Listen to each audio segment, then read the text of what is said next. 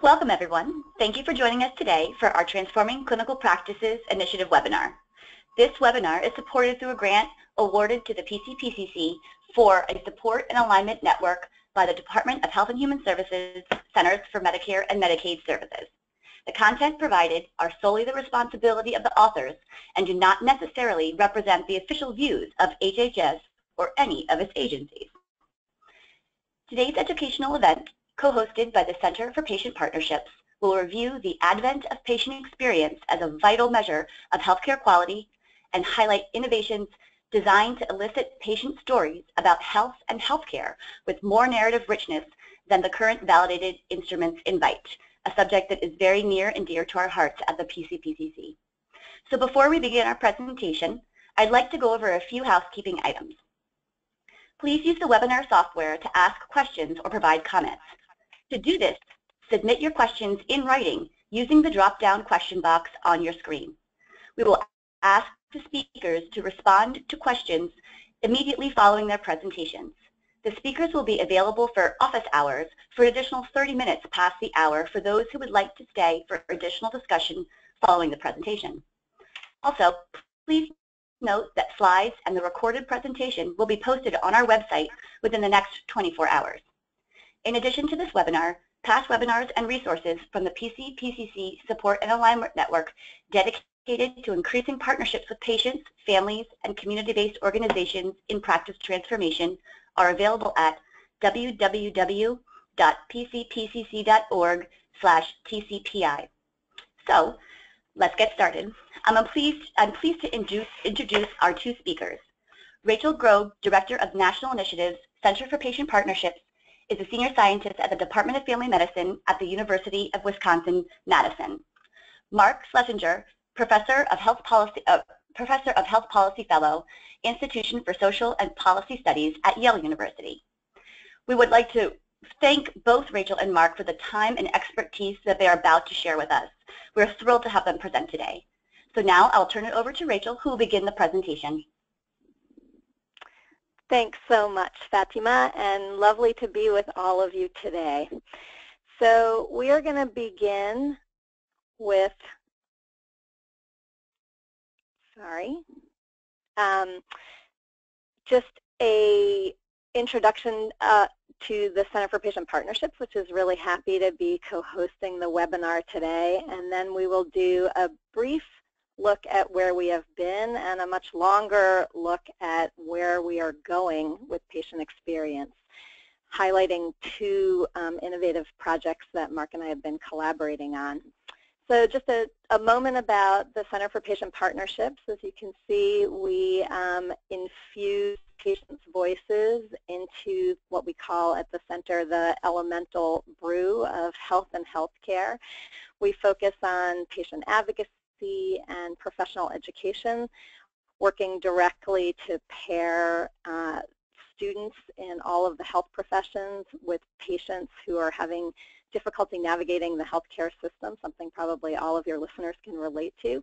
We also focus on service co-design and research and policy advocacy, and the projects we're going to highlight today are in that last category, but a real sweet spot for us there is to focus on projects that don't have a 17-year pipeline to translation, um, but rather can start making a difference in the lives of real people very quickly. So where have we come from with patient experience? This is a whirlwind three-minute history. Um, we can return to this in the Q&A period if people are interested.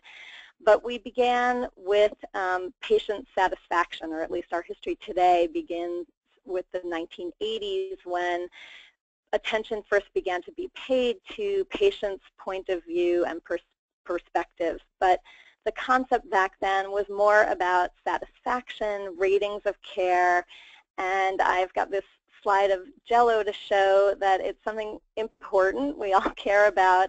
Uh, uh, what, what we eat and how we eat it and how things feel, for example, in a hospital stay, um, but maybe not a concept yet as fully formed as it became when we moved on to looking at experience of care and the advent in the 1990s of the consumer assessment of healthcare providers and systems out of AHRQ, our federal agency that looks at quality. And these patient experience surveys, many of you may have seen them, um, like the one pictured here. CAHPS isn't the only provider of these kinds of surveys, um, but is the most well-known one.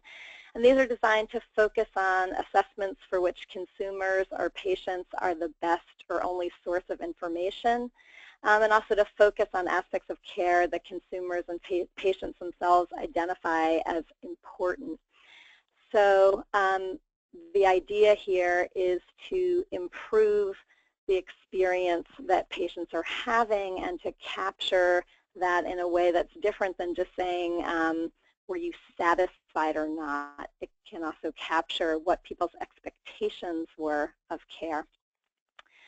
The next move is to a much more full and robust idea of care that really puts patients in the center of a world that may include their health and healthcare experiences, but has to do with all the dimensions of their lives, only some of which obviously are pictured here.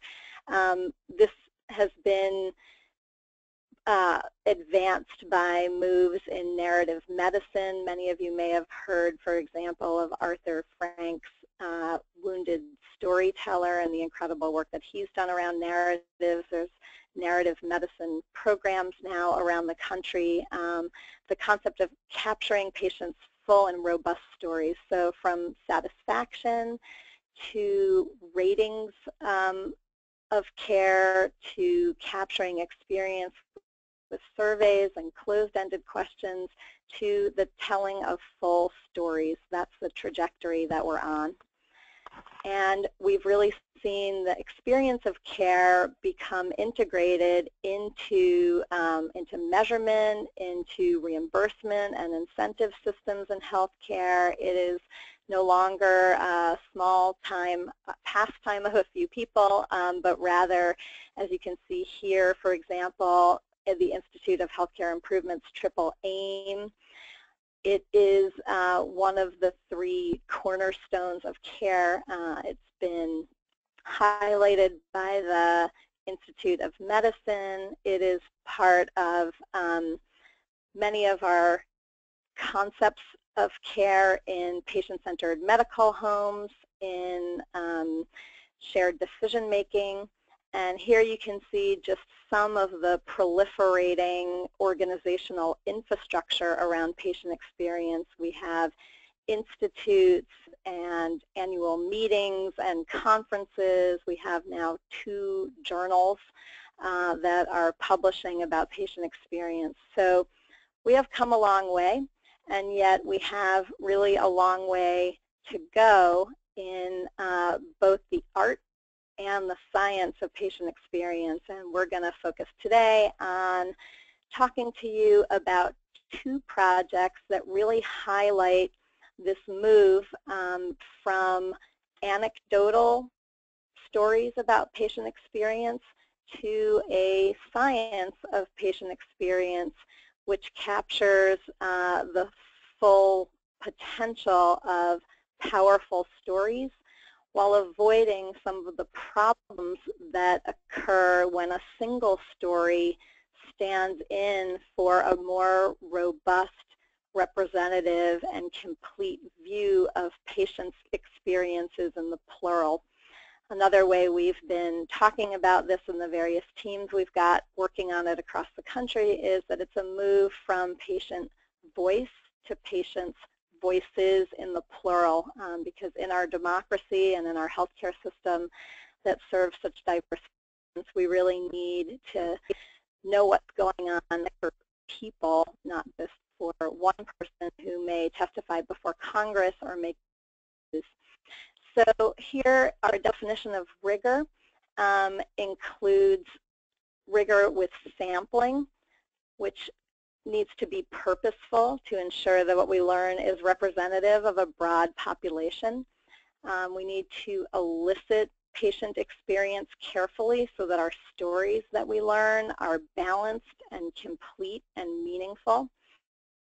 And we need methods to interpret the patient experience data, that qualitative data that we get with rigor so that it is coded for themes as well as for variation so that we have incorporated team-based approaches to ensure um, that we're triangulating and incorporating um, rigor and with attention to inductive learning so that we are being told what we need to know from what patients are recounting in their stories and not only working from a hypothesis.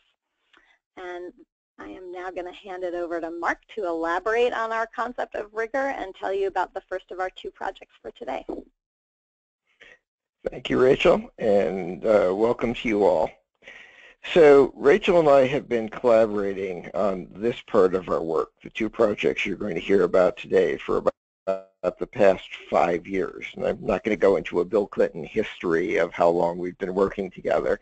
Uh, the first project we're going to describe to you, which is part of this larger team represented by all the authors on that sounding board, which are at the top of the slide there, uh, emphasizes particular dimensions of rigor of the three dimensions Rachel just introduced. It focuses on sampling in a very careful way by embedding the collection of patient narratives into very large-scale patient experience surveys like the CAHPS survey or like uh, other kinds of patient experience surveys which are given to tens of millions of people a year.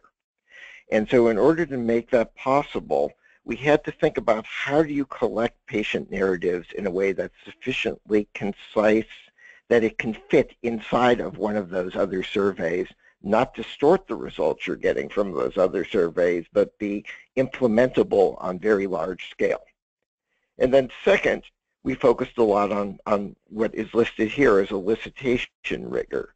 That is, figuring out how to ask a sequence of open-ended questions in ways that get people to tell a fulsome story about their patient experiences and one which can be told by people who are not used to telling stories, not just the vocal people, not just the verbally facile people, not just people who are comfortable writing because they think people will pay attention, but to get the people who don't think any of those things to actually be willing to tell their story in a fulsome way.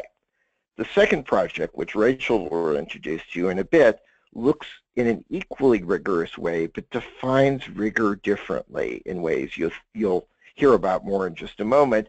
And what importantly here is that you can think about rigor in multiple ways, implement it in different ways, and each of them tell you something importantly different about the nature of patient experience. All right, so again, this first project, which we typically refer to as the elicitation project, uh, is designed to work built into these very large patient experience surveys.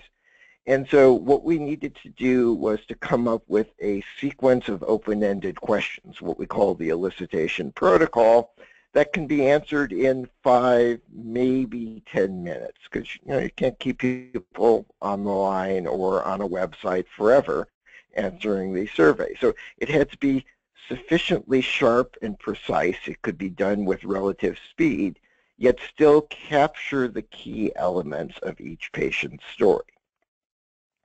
To do that, we had to kind of develop both what we mean by rigor in this particular context, uh, how we're going to operationalize our definition of rigor. And people, even though people have worked a lot on patient narratives, and as Rachel mentioned, there's a rich and robust literature on narrative medicine and a rich literature on narratives in all different aspects of people's lives.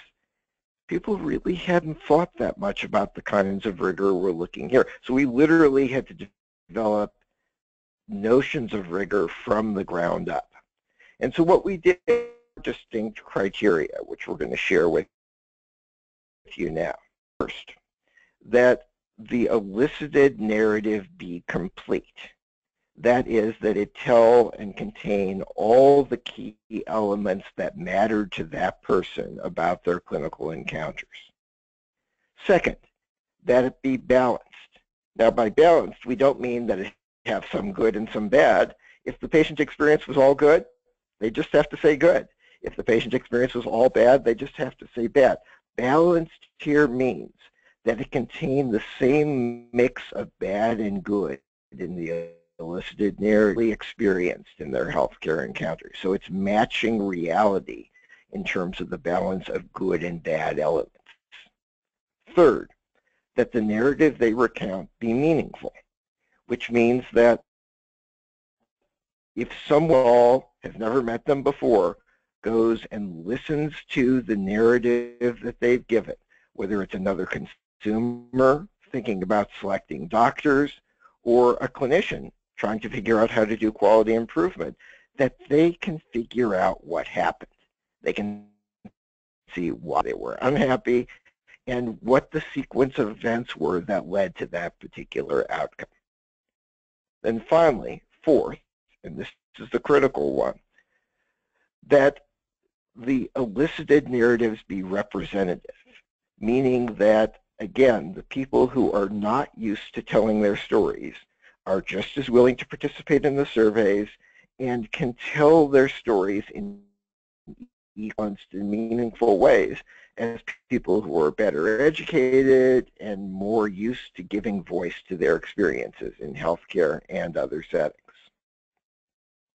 So those were our criteria. We're going to come back to them and illustrate how we use them in this particular context. But again, the key here is to set some standards, to define what we mean by rigor in a way that we can then judge how well we are doing when we collect people's stories. Now to actually do this in the case of this particular study, which as Rachel mentioned was funded by AHRQ, we collected using these short sequences of open-ended questions, what we call elicitation protocols. We collected experiences from about 750 different people talking about their own health care. But we had to know, in order to determine whether the elicited narratives were good, were effective, we had to have a gold standard against which to compare them. And so for 100 of those cases, about three weeks after we did the elicitation protocol, we went back, and we in this case was Rachel and one other interviewer, went back and had long, intensive interviews, hour, hour and a half, sometimes as long as two-hour interviews, where they very carefully probed what those healthcare experiences were. So those become the standard to which we compare. And when we're trying to judge whether those short little five-question elicitations worked, it's relative to the content of information that was derived from those intensive interviews. Now, one of the things we very quickly established was that this is not as easy as it initially sounds, and that even if you try to do it carefully, you don't exactly get it right the first time. So in this particular protocol that we developed, and this is the first of our elicitation protocols, which we did for outpatient clinical care, we had to do basically two rounds of elicitation work before we got the protocol working reasonably well. Even though we spent a lot of time in care working on that first version. So what you have on this slide are the results of a particular dimension of performance, in this case completeness, how much of the patient's story got told in the short elicitation compared to those long interviews. And you'll see there are clusters of three bars, and this is a motif which is going to repeat across slides, so let me explain them to you. The blue bar is the full sample, all the people who participated in the elicitation for whom we had comparative interviews. But we also, as we were testing the elicitation, we wanted to see if it would work equally well in telephone mode, where people were just telling their stories to a, to a person on the other side of the line and web-based, where they're actually writing down their story. So the green bar in all these slides is phone mode. The gold bar in all these slides is web. So verbal elicitation, written elicitation. And if you look at the cluster on the left, you will see that in our first elicitation protocol we developed, we did okay. Overall, we got 45% of the content. That is, 45% of the time that someone in the intensive interview said something about a domain of care that mattered to them, we captured it in the short-term elicitation. It was a little better over the phone, about 50% hit rate over the phone, about 40% over the web. But what we did was carefully go back, look at the performance of that initial elicitation, figure out what domains we were getting good response to, what domains we weren't, and we tweaked. We changed the protocol, and then we went back into the field again. And we got what is represented by the right-hand bars, that cluster of three. Elicitation overall went up from about 45% to about 60%, meaning that if someone said something in the very intensive interviews, there was a 60% chance it was also captured in the short elicitation. And happily, as you will see, the web and phone elicitation methods completely evened out. So we were doing equally as well by phone when people were just telling their stories as in the web and when people were writing their stories down. So first key lesson, this is not easy stuff. To do this well takes time, effort, investment, and refinement over time. Now, let me walk you through briefly how well we did with the second version, the final version of the protocol in each of our four dimensions of rigor. So remember, the first one is completeness. How well do we get people to tell their story? Now, this is kind of a complicated bars, complicated chart, so don't get overwhelmed by it. Over on the left is exactly what we looked at in the previous slide. This is the overall performance. Blue bar uh, for the full sample, green for the phone, gold for the web. As you will see on the right-hand side of the chart, what we did was break down patient experience into 10 different domains. Uh, their interactions with staff, coordination of care, how competent the doctor seemed, how, did they give them ample time, how well were they communicating, and we constructed separate completeness scores in each of those 10 domains. And you can see they vary a lot. For staff, if someone said something about staff in the intensive interview, they almost always also wrote that down or communicated it in the elicitation. We were close to 100% on that domain. And we did really well in some other domains, coordination of care, completeness, pretty well in caring and competence. So there were a number of domains where we were really doing a pretty good job in this short five-minute elicitation capturing things that were conveyed in the intensive interview. But then you will notice there are a few domains we didn't do so well uh, what we call orientation, how aggressive the medical practice was of that clinician, uh, how thorough they were, uh, and how much shared decision making they were. Now, these are for people who care about health system performance pretty important dimensions, and the fact that we didn't do as well by them isn't great, but the reason we didn't do as well is that these are dimensions patients actually don't care about very much. And we talk a lot about shared decision making as an attribute of good, but you know the truth is that most patients don't give that that much salience. So the places where we got really high bars, where the elicitation protocol was working best in matching the interview content, were the places where the patients really cared and really wanted to communicate. Where we did less well were places where patients had less, saw less salience. All right, so that's the first dimension. Second dimension, balance. Again, balance means is the mix and good and bad evaluations in the elicitation similar to that mix that emerged in the intensive interview. So here we have a slightly different metric. You'll see there's a blue line going across at 1.0. If the elicitation has exactly the same mix of positive and negative that the interview did, it gets scored a 1. If it's a little more positive in the elicitation than the interview, it gets scored above 1. If it's, if it's more negative, it gets scored below 1. And so what you see in each of these four different clusters are different criteria we used for assessing that. How many things people mentioned, how much, how many lines of the transcript they spent on them, if an independent person went through and coded them, how positive versus negative did they sound. And the good news is, across all these different performance metrics, we ended up scoring very close to one. That is, the balance of positive and negative looked very similar in the elicitation that it had in the intensive interview. If anything, there is a little bias for the elicitations to be a little more positive than the intensive interviews were, but not by much, and they're really very close in terms of their overall balance. All right, so that was criteria two. Criteria three, uh, meaningfulness. Now, obviously meaningfulness is a little bit in the eye of the beholder. It depends on who's listening to it, who's reading the transcript.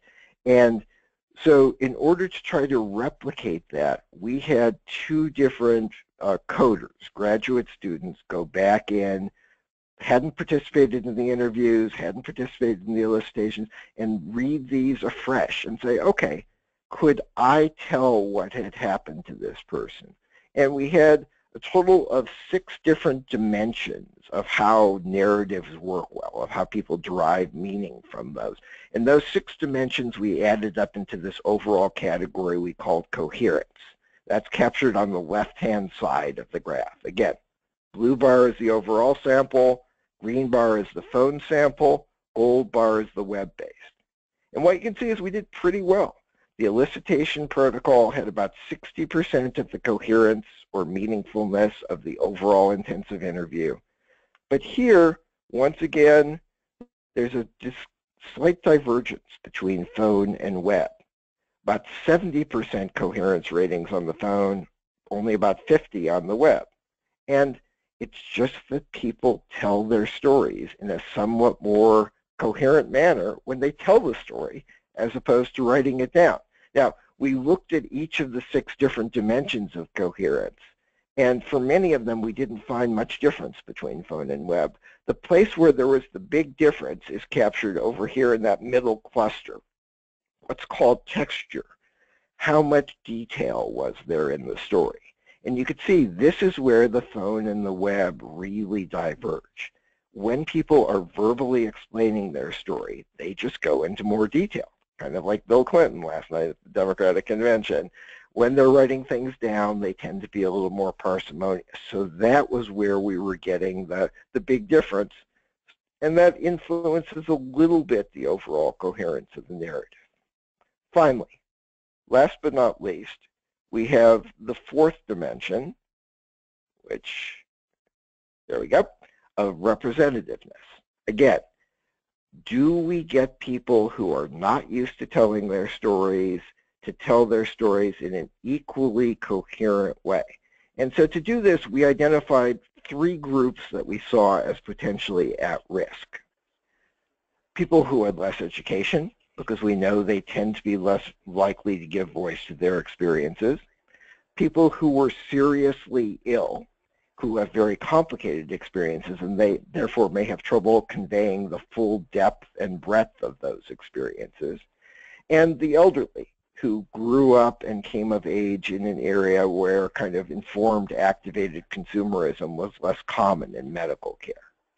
So again, blue bars capture the overall average sample. The gold bars in this case, the high school or less educated sample, Red bars, people who'd been seriously ill, and we oversampled for them to get them to be one-third of our sample. The gray bars, metaphorically speaking, capture the people 65 plus. What we have are a bunch of different clusters because we're looking at a bunch of different measures, including a very simple measure just of word count, that just how much did they communicate in the elicitation relative to the interview. And the good news is that across the board, for all three of these groups that we thought were at risk for not saying enough, on average, they were just as communicative, had just as big a scope, had just the same balance, conveyed just as coherent a narrative as the average person in the sample. Indeed, if anything, these three groups who we thought were going to be at risk actually did better in all those dimensions than average. All right, so just to bring things to a close now, uh, what we take away from this is that it is possible to use a very short elicitation protocol, a five-minute protocol, to capture the heart, the essence, and the balance and completeness of people's stories of outpatient encounters. We did this in an experimental setting uh, we've, it's now been pilot tested in California and Massachusetts, and Massachusetts Blue Cross is this year about to take it live in the first large-scale implementation. So they're convinced, they think they can make this work. We're pretty convinced that's true. Uh, we hope that in the near future we will see much larger scale adoption and we will develop elicitations that apply in other settings other than just the clinical setting. All right, Rachel, back to you. Thank you, Mark. Okay, so project number two that we're going to highlight today is the database of patient experience. And this is a project that's really focused on eliciting rich narratives about health and healthcare from a much smaller number of patients, but focused in a particular area. And I'm going to highlight for you in just a few minutes experiences that young adults have with depression. But the concept of creating DIPEX, or the Database of Individual Patient Experience, was to form an evidence base very similar to the work that the Cochrane Collaborative has done to forward evidence-based medicine, which many of you may be familiar with. In other words, to have a systematic way of understanding in a, a robust fashion what things are like from the patient's point of view. And you can see here on the slide some of the reasons why this is important. Our colleagues at Oxford University who um, initiated this project and really um, pioneered the methodology more than 15 years ago. We're interested in all of these things. What are the questions and problems that matter to patients? How can clinicians learn about the patient's point of view in a meaningful way? How can other patients or caregivers learn what they need to know about patients' experiences with particular kinds of problems, whether that be depression or cancer or heart disease or what it's like to raise a child with autism, palliative care, end-of-life care. Um, menopause. In the UK, they have done more than 90 of these studies that are called modules on all of these questions, and they have been used in all of these ways, resources in educational settings for health professionals, for patients and caregivers, for the community, and also to inform policy. So I am going to um, actually show you how this works in a minute, but I just want to walk through some of the um, fundamentals of the methodology first. It's a methodology that marries rigorous qualitative research studies in these particular areas of health and healthcare with a public-facing website that can be used by all of the audiences I just was discussing on the prior slide. And the aim is to represent the broadest possible range of perspectives. So we are looking for maximum variation in sampling here. We certainly detect themes in the data, what most people say um, characterizes their experience of depression or of prostate cancer or of um, palliative care. But um, we also are looking for the story that's not told so yet, um, so that we can be sure that we're not um, hearing only the loudest voice or the dominant narrative, but rather are seeking out stories that are less told or perspectives that have been intimated in an earlier intensive interview but not yet fleshed out. We do um, interviewing until saturation occurs. That's the term in qualitative research. That means that you're not hearing much or anything that's new anymore, and then you know that you've really captured um, in a comprehensive way patient's experience in that domain. We do coding fairly similar to the coding process that Mark just highlighted for the elicitation project. And then we produce um, summaries for the public-facing website that then embed these video and audio clips from the interviews that we have done. Uh, the interviews take place primarily in people's homes or in a community setting, um, and most of them are videotaped unless the, the participant would prefer just audio um, or that their interview be captured only in text on the website. So this uh, really brilliant intervention in the patient experience world that was pioneered at Oxford University. You can see the UK in the middle there has now expanded to 12 countries and we have other countries eager to join. The US team um, joined two years ago and we were the 10th country to join. You can see here where else this is happening and we are all united under the umbrella of DIPEX International which um, helps us learn from one another and become smarter and have a greater impact with this wonderful methodology. In the U.S., the Health Experiences Research Network is the um, implementer of the DIPEX methodology, and that's a partnership between the University of Wisconsin and Yale, uh, so myself and Mark, and then Johns Hopkins University and Oregon Health and Sciences University, and we will be growing our network uh, in the next few years. Here's a little snapshot of us, and I want to give a shout out to our colleague Nancy Pandhi on the bottom uh, left there at the University of Wisconsin, who's done a tremendous job uh, working with me at the University of Wisconsin-Madison. We started out with two modules, depression in young adults, which I'm going to show you in a second, and then the team in Oregon is working on a module that's focused on the experience veterans are having with traumatic brain injury. And you can see here we've got a number of other modules um, under review. We actually have a longer list than this, but it's just a, a taste of where we can go with this. Um, we're hoping to do lots of these studies and build modules quickly so that our database can uh, become robust in a short amount of time. The commitment of our Health Experiences Research Network here in the U.S. is to listen to patients um, and really capture again that wide range of experiences and priorities um, to empower patients and it's really worth noting that with this methodology, uh, patients hold on to their story. They decide what does and doesn't get used on the website. We very much stay in touch with them. They, uh, some of them become advisors to the project. Some of them are involved in dissemination. And some of them say, I just want to tell you my story.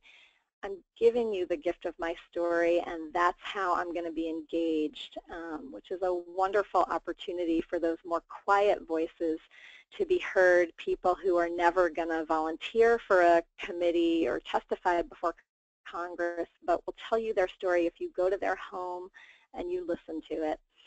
Um, and again, this move from voice to voices is critical, the synthesis of what we've heard. I'm going to now uh, spend about 10 minutes uh, introducing you to our module and actually playing some clips for you. Here's our study team and our funders. Uh, we're grateful to all of them for the young adult uh, young adult experiences with depression module. We picked young adulthood for this first um, module in the U.S. because it's such a period of change with graduations and marriage and um, life transitions of all kinds. Um, here's the flyer that we used. We recruited all around the country to do these interviews, asking people to tell their story to help others and to feel less alone. I think this was a really powerful message, um, again, for a lot of people who who can't even leave their home, um, but were willing to do this. Here's a map of the sites around the country where we interviewed. We um, didn't travel to the South, uh, but we did specifically recruit people who were born in the South so that we could hear about some of the regional differences that might occur there. This is our web URL. Uh, I hope all of you check it out because we're going to have very little time here relative to the richness on the site to explore it. Um, but here's what our landing page looks like. And that first montage where it says young adults and depression in the U.S. is uh, a bunch of people we interviewed talking about why they think this is an important way to capture uh, patient experience and why they wanted to participate. You can see down the left-hand orange some categories that we organized our data in. Uh, first experiences with depression, what it means to live with depression, and there's a lot of categories, subcategories under there ranging from how depression feels and its signs and symptoms to what it's like to have depression and another kind of condition, an eating disorder, for example, or self-harming. We heard a lot about getting help from professionals, what it means to seek assistance and treatment. I'm going to play you some clips from there. Um, and a lot about what it means to help yourself and how people arrive at a process of feeling better, what strategies they develop for everyday life, uh, the meaning of spirituality and faith and healing for them, um, and then messages for others uh, that are characteristic of every module. So uh, you can see here what this looks like. We're going to show it to you live in a moment. Um, here are some of the categories under living with depression that I was just walking you through. And then you can see here the top bar of the website. Um, if you're over on the left-hand side where it's the topics, you can see the summaries developed of the topic areas, um, but you can also go into people's profiles and learn more about the individual folks who were uh, generous enough to tell their story and read their bios and hear all of the clips from their interviews. Okay, so Lauren, over to you.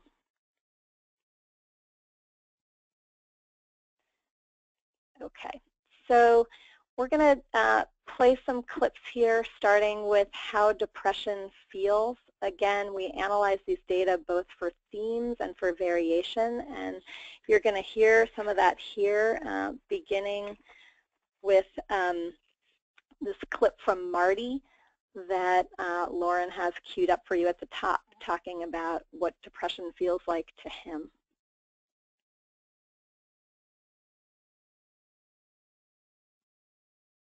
Just one moment as I, as I get it up for us. Okay.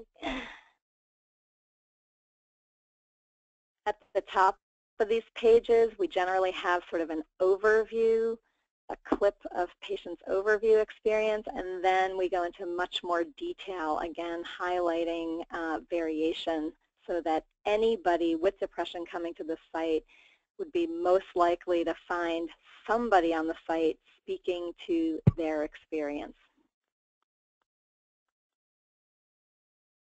Okay, here we go. Hopefully the sound is coming through. No, we're not getting sound, sorry.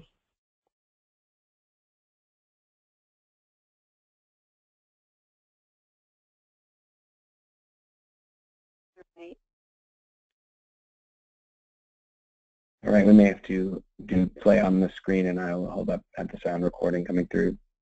Okay. Should we just try one? If it doesn't work, I'll just walk people through. Um, but it's much more powerful to hear the people we interviewed talking about their experience than to hear uh, a researcher summarizing it. And that really is a lot of the power of this methodology um, because instead of the, the writing of somebody summarizing what was learned or having a text clip,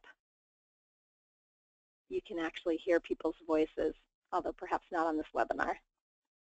no, we'll, do it the other way right Okay. So we'll, we'll you know what, Lauren? We're, it, it's okay. Let's just run down through there, and I'll I'll, I'll highlight a little bit of uh, of it because we're running short on time anyway, and it's fine. I'll, we can we can just Okay, well then, yeah, take over the website and you can.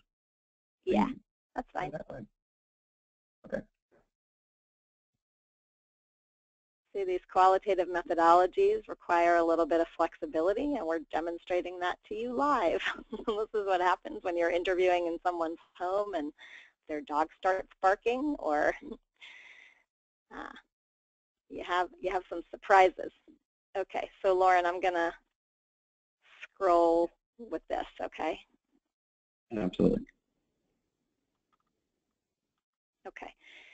So here you can just get a feel for how we we organize these really rich patient experience data. Um, we heard a lot from patients about metaphors that they use. This is not necessarily what you hear in the clinical encounter, but it is when people tell their, their full story.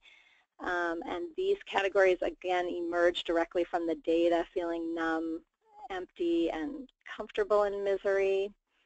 Um, here's a really powerful clip from a young man, uh, Pete, who you see pictured here, who really hadn't talked to anyone about his depression until he uh, was willing to do this interview, nobody besides his therapist um, and me. And I think it was really powerful for him to tell his story and feel like he could help others. Um, low self-esteem. Another If you'd like to play one of the clips, uh, we could have the audio come through here for people. Okay let's let's try Pete. We'll just try one, and then I'll I'll kind of go back to my slides. Great. Want to give it a shot? Yeah. Into my room and lock, lock up.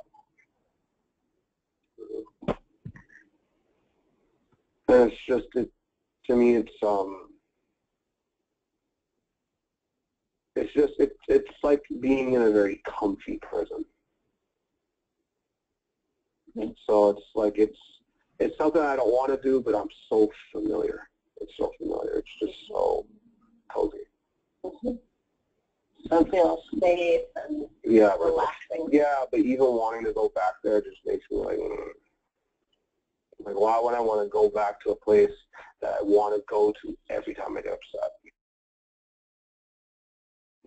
Okay. Um,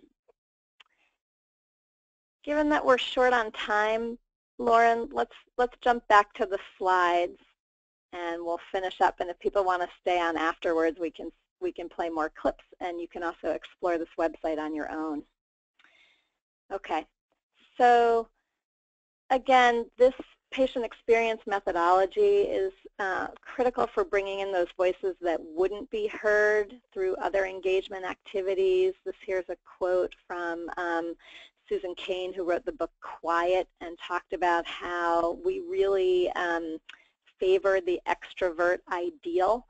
And it's critical for patient experience work to be able to elicit those quieter voices, um, helping to amplify them through that the various strategies of elicitation we've highlighted here, um, hoping that every voice can be heard one of our participants in the depression study, Maya, highlighted how important it was to her to tell her story, partly because she doesn't want people with depression to be seen as playing only those low notes on the piano. Uh, she wanted those very high highs that she experiences to be part of the public discourse.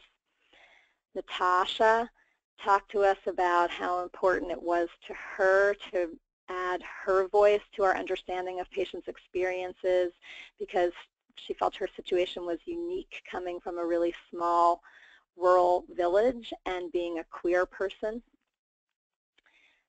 So in sum, before we turn to your questions, we are dedicated to moving from this idea that we could possibly have a standardized patient or a patient in the singular um, to the idea with patient experience that we need these multiple voices, we need a montage, we need uh, rigor and, and representativeness so that we can get uh, balanced, meaningful, and complete stories in the public domain to improve health and healthcare and enrich our public discourse.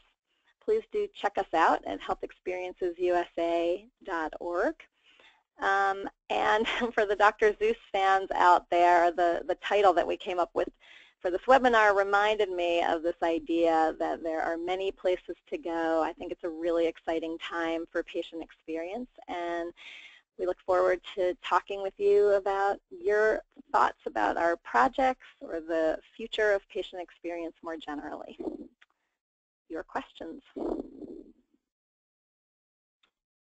Great. Thank you so much for that incredibly thoughtful and comprehensive and very moving um, presentation. I do encourage people to look at the videos and apologize that we weren't able to really uh, do as much of that as we thought we were going to be able to. Um, so I do have a, a few questions from folks. Um, one is if, if, you could go into a little bit more detail about the patient stories, um, if they cross healthcare settings or is that part of um, the methodology and, and how did that work? So I'm thinking maybe this is a question about the elicitation study. Yes, yes, I'm sorry, yes. Okay. Mark, yes, you want to dive so, in? Yeah, so we designed the initial version of the elicitation to live inside of these patient experience surveys, which means that they're focused on particular context.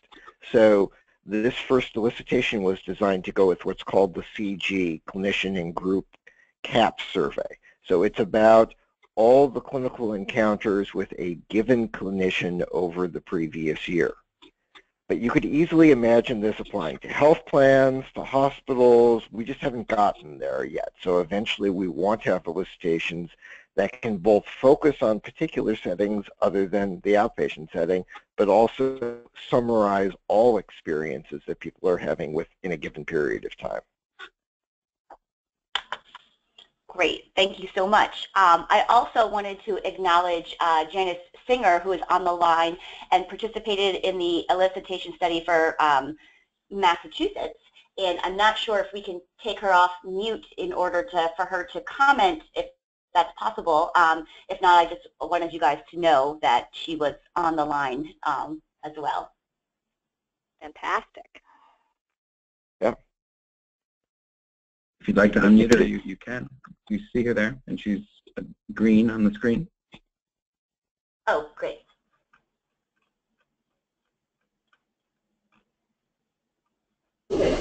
Oh, hi, this is Jan.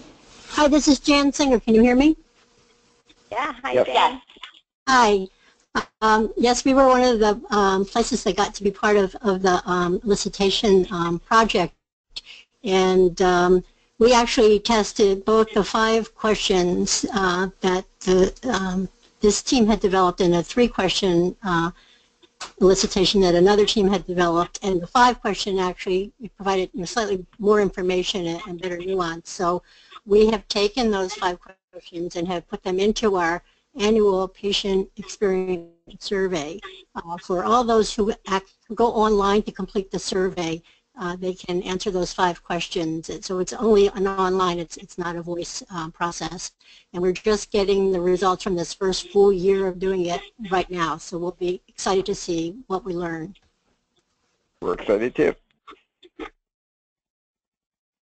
Wonderful. And Actually, this is, this is mm, uh, Fatima, do you mind me jumping in? This is Marci Nielsen. I Sure, just sure, wanna I- thank, um, Mark and, and, and Rachel on the last question. So tell me, tell me when I can be in the queue, Fatima.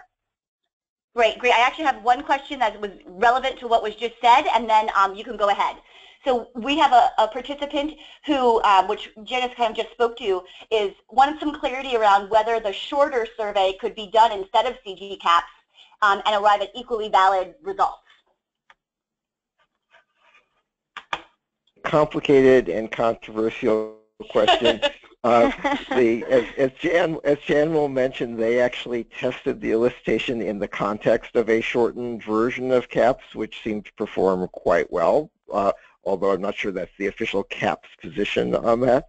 Uh, uh, the one thing that's important, though, is we don't want to think about the open-ended questions replacing the closed-ended questions. They each capture something different and important about patient experience. And uh, particularly if you're using them for reimbursement purposes, you still need some closed-ended metrics that you can tie to reimbursement. And so think of them as complements rather than substitutes. Great, thank you. Marci? Yeah, this, this um, my, my question is um, hopefully uh, a little less controversial, but I'm, I'm suspecting, um, I'm suspecting not, and, and that is the, the world of gathering data around patient experience through CAHPS, as, as, uh, as Mark and Rachel well know, and wasn't the purpose of, of this call, but, but it's often frustrating for providers. And it's frustrating for lots of, of different reasons, um, one of which is its lack of richness, uh, and that is certainly where uh, this research is so important. But if you could put your, your very practical hat on um, and step into the role of a primary care practice that is still operating in fee-for-service, still very much having to, um, to operate on the hamster wheel, but who cares deeply about their patient's experience um, of, of care. How would you suggest that they use the, the work and the research that, that, that you've done? All right, so that's a great no, question. That's a, yeah, and, really, yeah. And so, uh, Rich, do you want to dive into that first?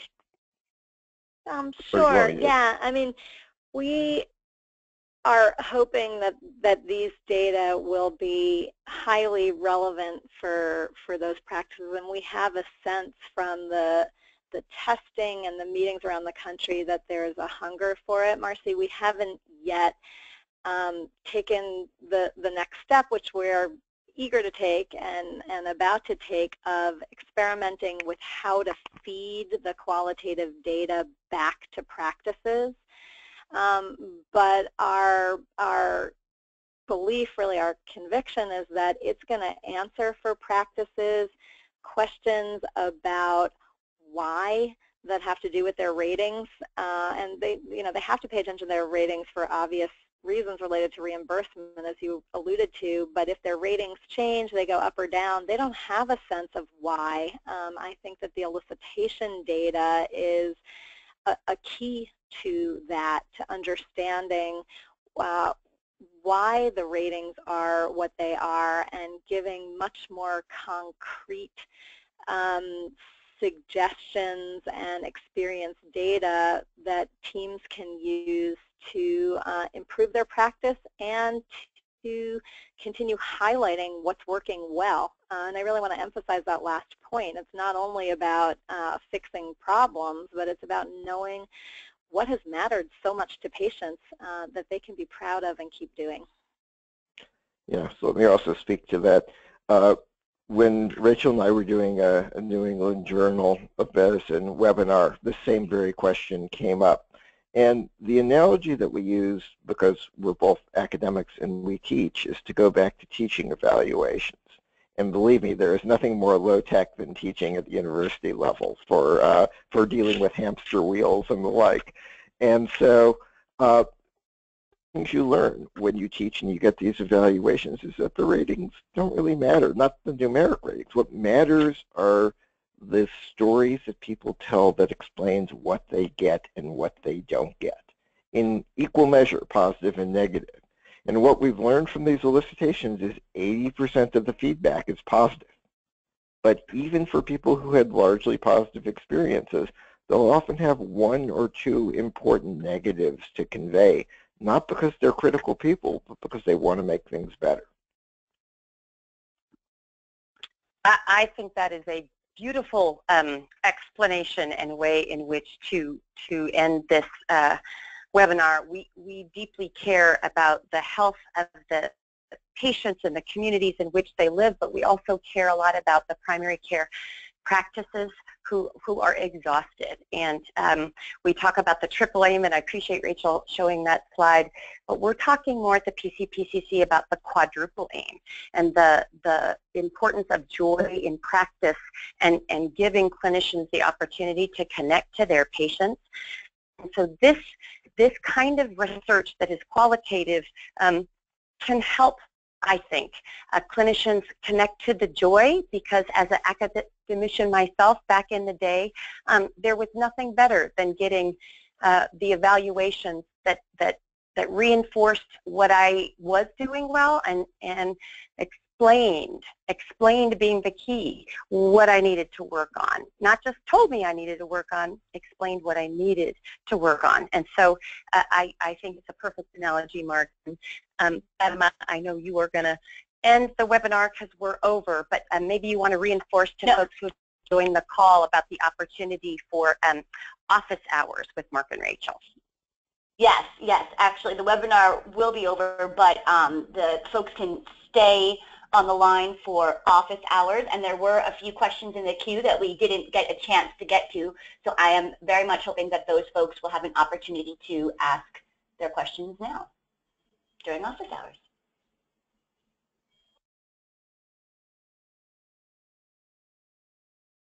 I feel like there should be a classroom gong that just went off. Office hours.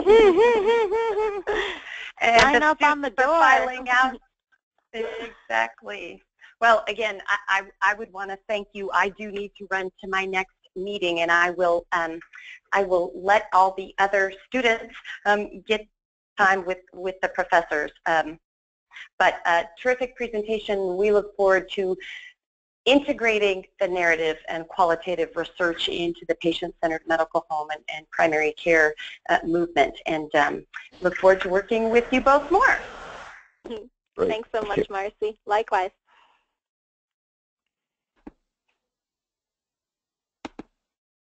Okay, Fatima, how do we do how do we do office hours? I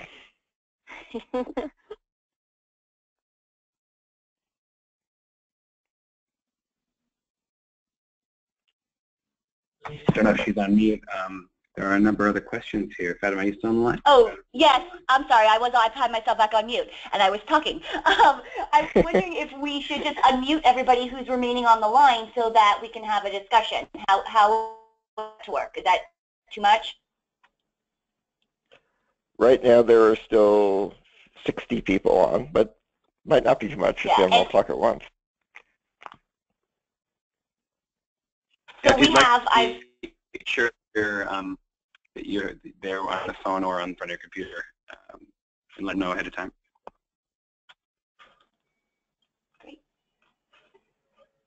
So is Michelle Carrick still on the line? Um, she had some question, a question about uh, if whether or not demographics, gender, age, race were captured. Um,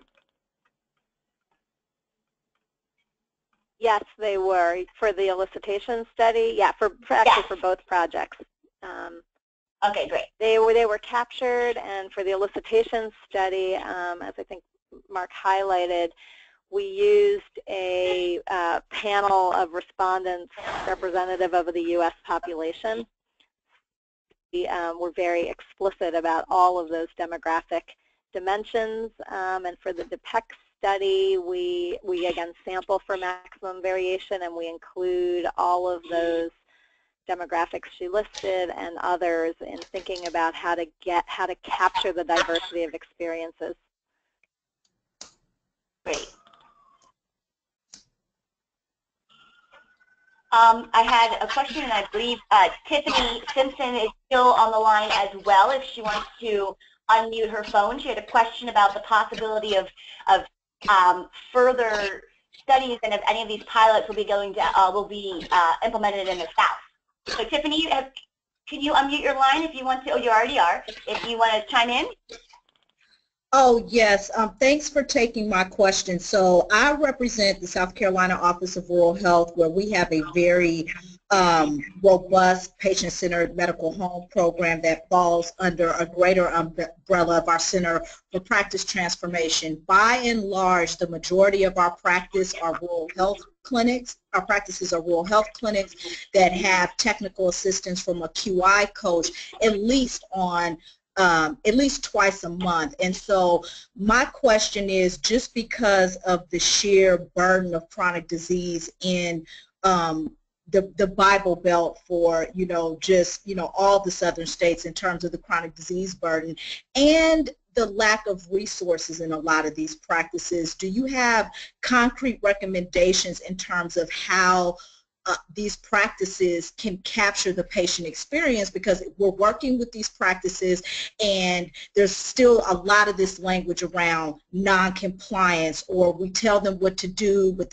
they still come back with elevated blood sugar, so on and so forth. So really just hardcore concrete recommendations. Uh, our QI coaches try to provide tools on the fly to capture the patient experience because this is really new territory for a lot of them. So I just wanted to provide some context in terms of what's been presented today and is there interest from an academic perspective of running these pilots and and and going from there. So just trying to paint a picture for you.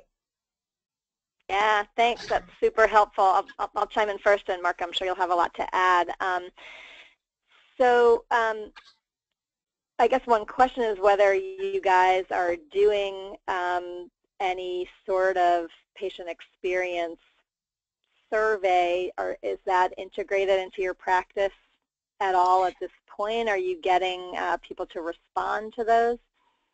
Um, we are doing what I would consider um, a mini version of the CAHPS survey. I know that the QI coaches, because um, this is a part of what they need to do to get PCMH accreditation. So right. um, this is new territory for them. So literally like these small one-pagers that either the practice manager can, you know, pull patients, you know, and go through the, the process with them, but something that's more consistent that could be systematized because these practice practices are overburdened. They have all of these competing interests. They're trying to make payroll. They have, you know, three FTE to service patients in a wide, isolated geographic area, and then we're asking them to do this on top of that. So it is a part of the process because they have to do it to get accreditation, um, but at the same time, it needs to be standardized. And so, and, and, and I heard a lot of that on this webinar. So just really looking to you all, number one, to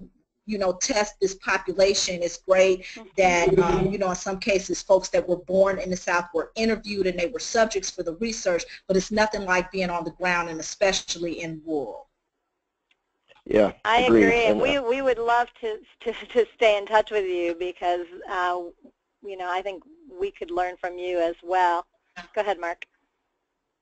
Uh, and, and I think one of the things that is useful and good. Is this our little elicitation protocol that we that we've developed? It's it's just five questions and it's freely available to everyone. It was developed under AHRQ funding. We will we could get it to you guys. We could talk to your quality assistance coaches. Uh, the it's they're pretty straightforward questions that people actually enjoy answering and so you can give people uh, a written version of this and have them just write down their responses. And the good news is it's not fancy stuff, right? You just what you need to do is have some time either for the QI coach or the clinicians to be able to set aside a little time and read them, and then they'll get the message. It doesn't require statistics. It doesn't require anything fancy. It just requires people to take the time to read. Okay, wonderful. And I just wanted to add in terms of the, the DIPEX project that um, our hope is as we grow it to be able to use these videos with QI teams, um, even if they weren't developed specifically on location, although they can be. Um, there's a whole sort of process around QI that's been developed in the UK for using these, which we're just starting to test out here. But they can be really powerful um, because that we can play them well here you know, hearing people and seeing them on video um, can can give that feedback for clinicians and, and parts of all of these web modules really focus on experiences with care. What's it like in the clinic? What's it like connecting with providers? What works and what doesn't? Um, so over time at least, we're hoping these will be great tools for practices all around the country. Thank you. And I just sent um, our director's um, information to you all just to further connect with her. Um, she has a dual appointment. She actually um, teaches at the University of South Carolina School of Medicine around patient-centered medical home principles.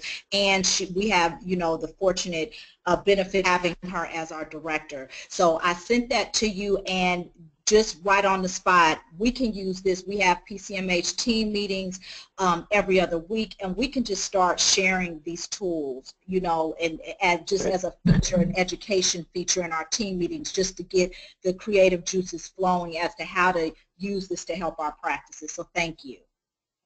Great. Thank you. Thanks, Tiffany. I'm glad you made that connection. This is Amanda chiming in from the PCPCC, and I just wanted to call on the next folks for for their questions. Jan, Jan Singer, first I wanted to circle back with you. It looks like your hand is, is raised.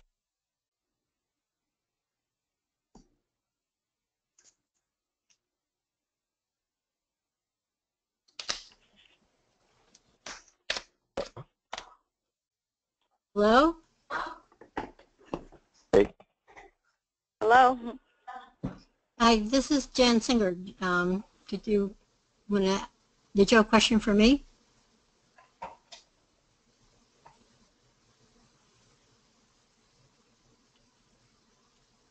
I think maybe maybe Amy's line went. Fatima, are you still there? Um, one thing I can say um, is that I, I really agree with, with, everything that you've both um, talked about, but particularly how the narratives give context. Um, we had great examples where you know people got you know reasonably good you know responses on the on the um, close-ended, but uh, the the the narratives at the end gave a much greater flavor of where there were maybe some pitfalls and things that people needed to take, be concerned about or take care of or at least know how to approach a problem as opposed to just looking at the, um, the close-ended in the score of, of 82 or whatever it would be. Um, so, so it really helps the providers to understand you know, where they, they should be making improvements and where what they're doing is working really well. Great, excellent.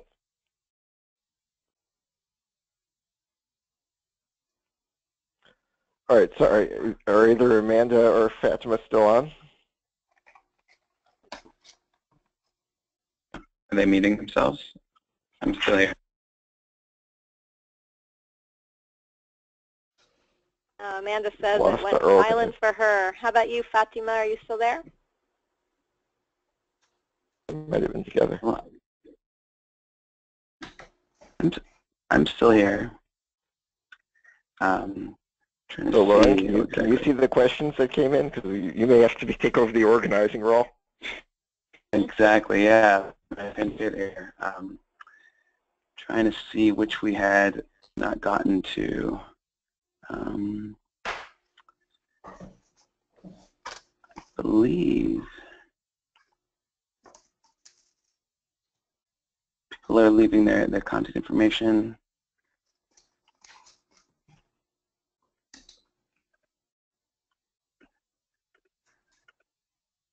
People asking about implementing pilots. They just asked that question.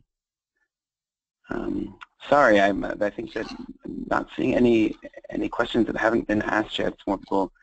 Uh, if anyone has any if anyone else wants like to, to unmute and ask a question, we're here, and otherwise we can bring things to a close. Lauren, do you want to just unmute everybody who's still on there, and that way anybody who wants to jump in can? Yeah, if anyone else, if, if someone wants to raise their virtual hand there on, on the thing, I will unmute you and ask your question that way.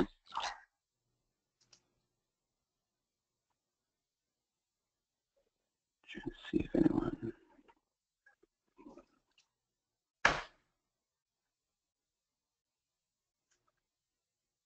There, uh, here's the questions. All right. All right, you're. Hey there. Yeah, I my name is uh, Nameka. I yeah. I'm very happy joining the discussion. I participated actively, and I've learned so much. And I hope I'm calling from Nigeria. I hope that uh, somehow this uh, tool will be implemented here in Nigeria. Though there are cultural differences, but I know somewhat it can be implemented in Nigeria too. So I want to thank you very much for this great presentation. Thank you. We we also hope that it can have international application, and we are we haven't yet tested uh, fully, but we know that the instruments are being translated into a variety of different languages as part of the Blue Cross Blue Shield application, and so we hope to be able to take this more broadly quickly. DIPEX is already international. Rachel, do you want to speak to that? Yeah, so I think you saw the, the slide that showed the 12 countries who have joined so far, but there's a concerted effort to expand, um, particularly into Africa and Latin America and other places on the globe um, that have not yet joined um, and processes underway to do that. So hoping for those 12 to be 24 and 48 and 100 before long because I think these uh, these rich videotaped interviews can be so useful to to primary care providers, uh, patients, and communities everywhere.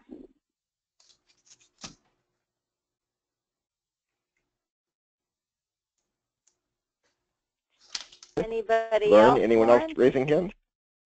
Yeah, just if anyone else wants to raise their virtual hand while I mute you, I just, uh, the question asker I just had to mute because there was some uh, outside noise. Uh, Yeah. Before we wrap up here, is there any last questions anyone would like to, to ask?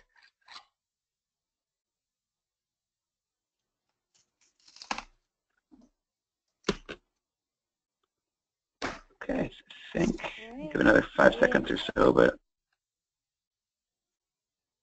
You can always Amanda, you- email us. We are easily found. Yes.